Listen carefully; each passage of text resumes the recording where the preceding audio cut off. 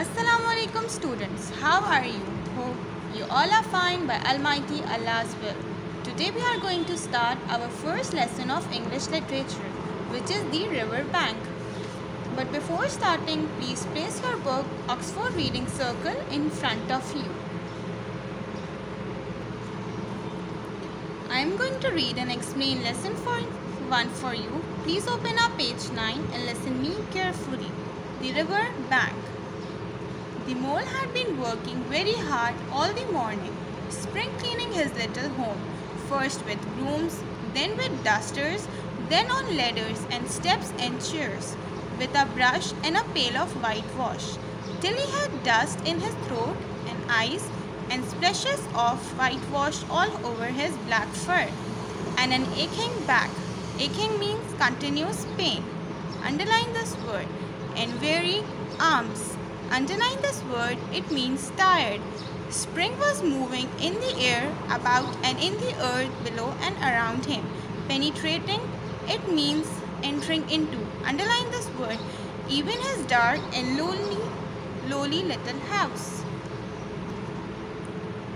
Mole is a bear. Mole was doing thorough cleaning of his house, including whitewash and dusting. At last, he was tired and pain in his back. After a long winter season, spring was about to come. He suddenly flung, flung means to throw, down his brush on the floor, said bother, and oh blow, and also hangs spring cleaning, and bolted. Bolted means very fast, out of the house without even waiting to put on his coat. Something up above was calling him, and he made for the steep little tunnel. Steep means slope. He scrubbed and scratched. Rubbing means rubbing, and scrubbed and screwed. Screwed means behave in a weird manner. And then he scooped, screwed again, and scrabbled and scratched and scraped, scrapped working busily with his little paws and muttering means talking to himself. Up we go, up we go, till at last, pop! His snout came out into the sunlight and he found himself rolling in the warm grass of a great meadow. Meadow means grassy place. So what was happened that he was fed up of cleaning. He threw everything and came out of his house for rest in a grassy place. He was behaving in a weird manner. This is fine, he said to himself. This is better than whitewashing. The sunshine struck. Struck means to hit. Hot on his fur, soft breezes caress. Caress means relaxed. His heated brow, jumping off all his four legs at once, in the joy of living and the delight of spring without its cleaning. He means continue. His way across the meadow till he reached the hedge.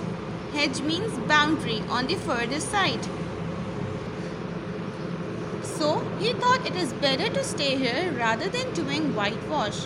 While enjoying and jumping, he reached the boundary on the other side. Hold up, said an elderly rabbit at the gate. Sixpence from the privilege of passing by the private road. He was bold. Bold means to fall. Over in an instant. Instant, instant means quickly. By the impatient mole who trotted. Trotted means walk slowly. Along the side of the hedge. Caffing. Caffing means teasing. The other rabbits as they peeped. Peep means to look into. Hurriedly from their holes to see what the row was about.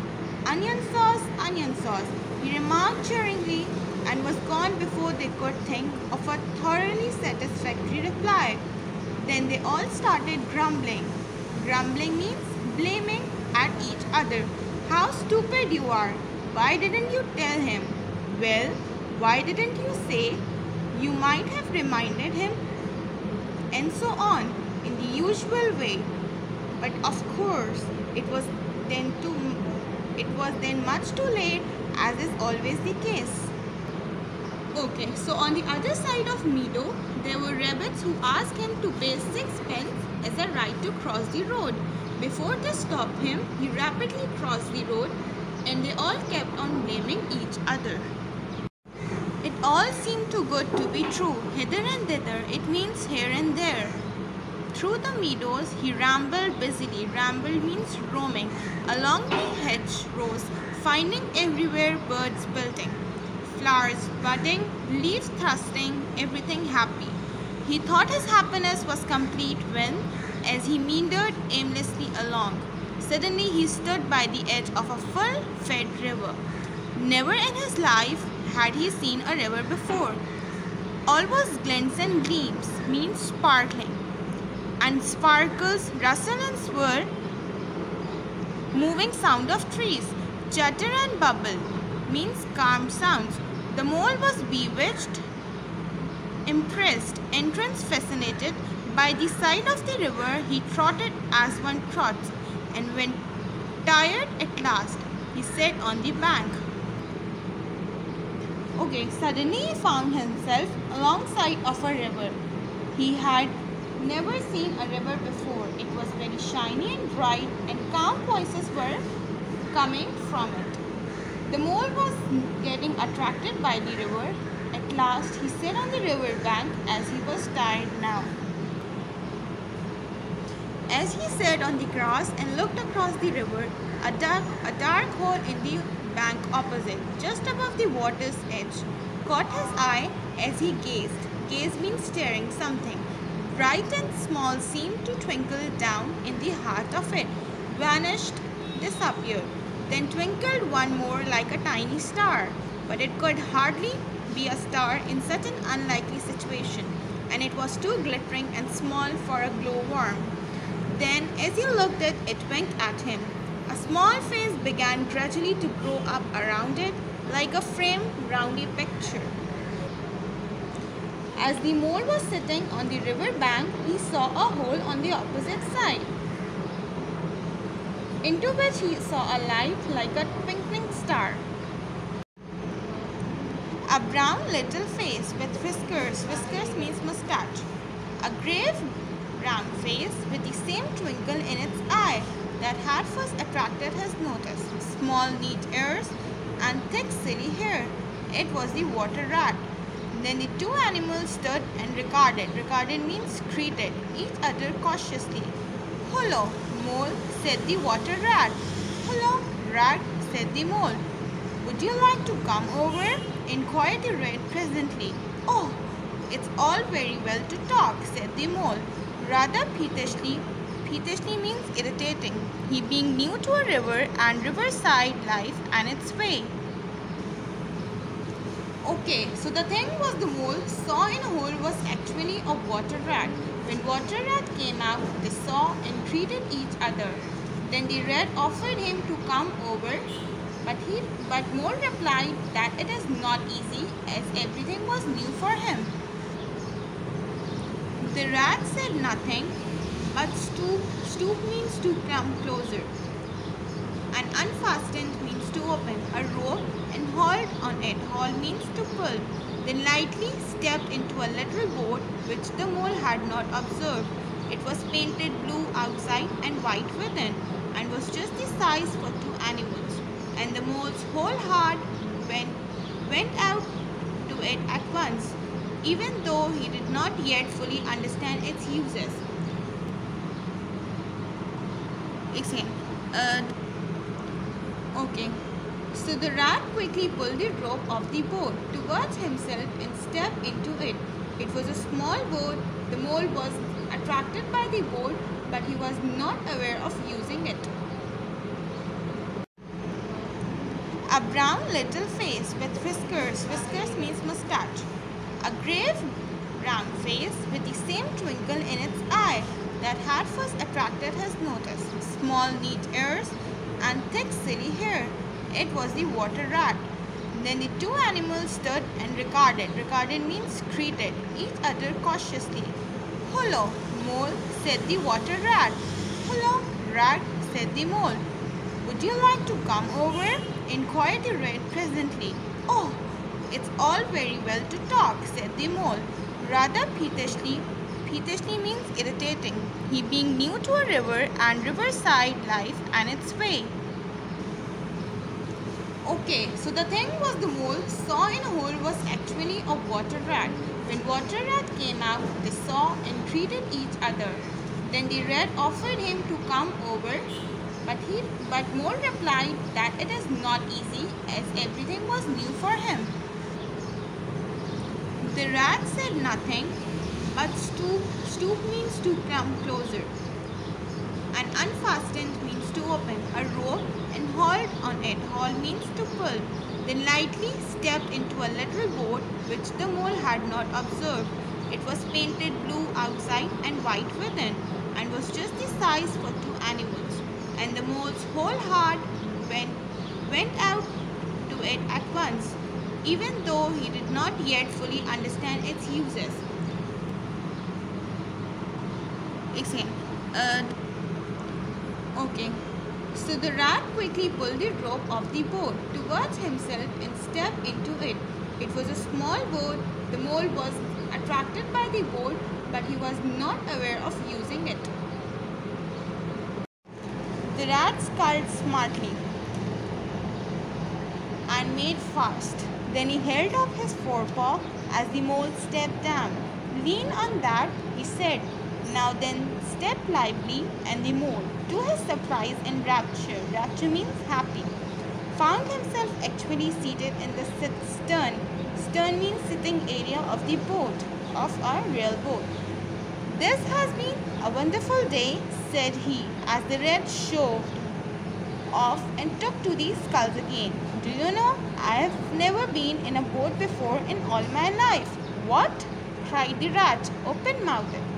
Never been in a? You never? Well, I. What have you been doing then? Is it so nice as all that? asked the mole shyly, though he was quite prepared to believe it as he leaned back in his seat and surveyed, surveyed means look, the cushions, the oars, the rowlocks and all the fascinating fittings and felt the boat sway. Sway means to lost, lightly under him.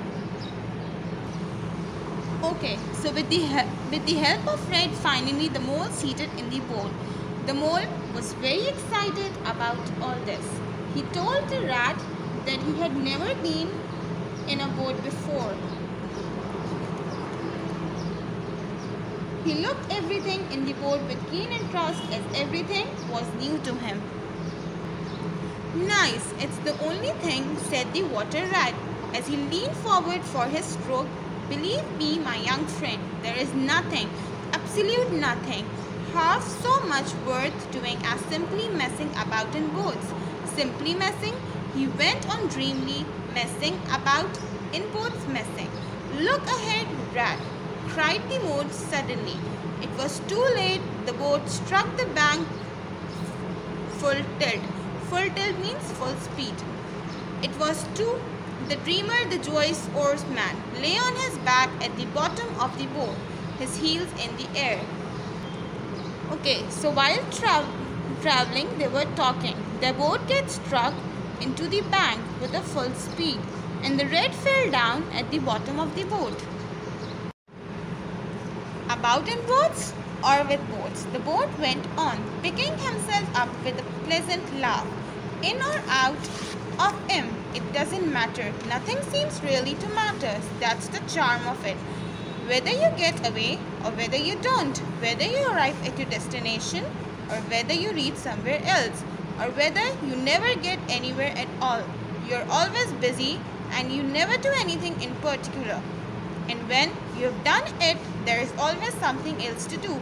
And you can do it if you like. But you'd much better not. Look here, if you have really something else on hand this morning, supposing we drop down the river together and have a long day of it. The mole waggled. Waggle means strike his toes from sheer happiness. Spread his chest with a sigh of full contentment and leaned back blissfully into the soft cushions. What a day I am having, he said.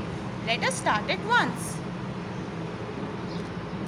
Okay, so the rat made him calm by sharing his experience that it is not a serious matter It usually happens while traveling in boats.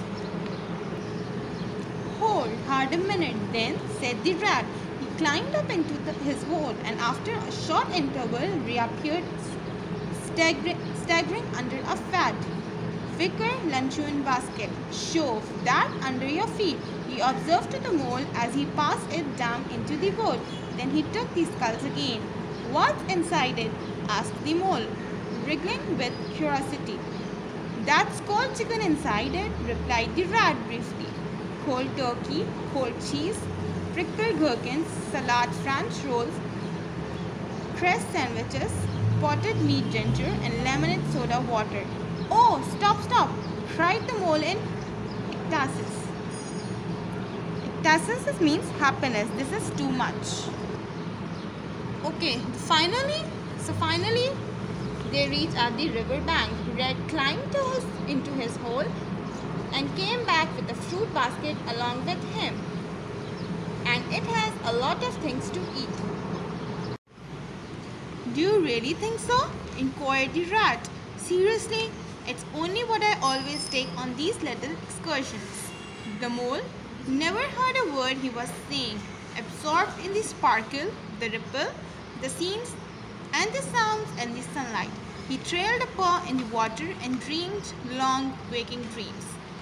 The water rat, like the good fellow he was, sculled steadily on. I like your clothes, old chap, he remarked after some half an hour or so he had passed. I'm going to get a black velvet suit myself someday, as soon as I can afford it. I beg your pardon, said the mole, pulling himself together with an effort. You must think me very rude, but all this is so new to me. So, this is a river. The river corrected the rat. Are you really live by the river? What a jo jolly life. Okay, the mole was surprised by all the actions of the rat as everything was new to, new to him. He was fascinated by nature, his food, his clothes. He thought that the rat is having a joyful life, but actually it wasn't. So here the reading and explanation of lesson 1 has been done. Okay, now we are moving forward towards our notebook work. First you have to make the title page of term 1. Then you have to make the title page of the lesson 1, the river bank. Then you have to copy the word meanings given below on every page in your notebooks. Okay, now move forward to exercise A on page 17 which is question answers. You have to copy these question answers, question number 1, question number 2, question number 3 and question number 4 in your notebooks. I am giving you the answer. Copy, copy these answers in your, those answers in your notebooks.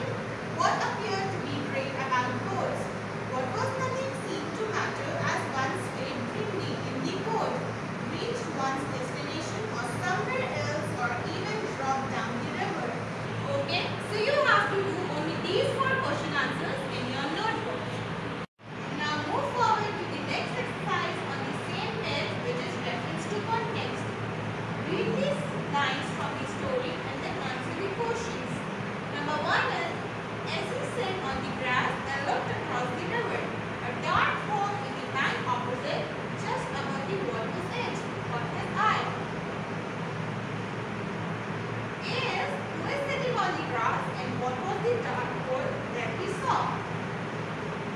The mole is sitting on the grass